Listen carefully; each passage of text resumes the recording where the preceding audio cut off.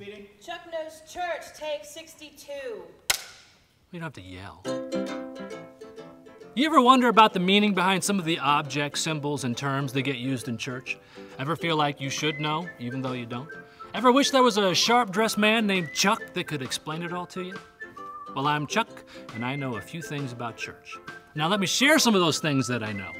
In each two to three minute episode, I'll try to demystify some of the stuff that we learn in church.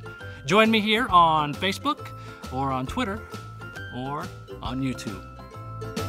Seriously, right across my face. You're gonna put it right on my face.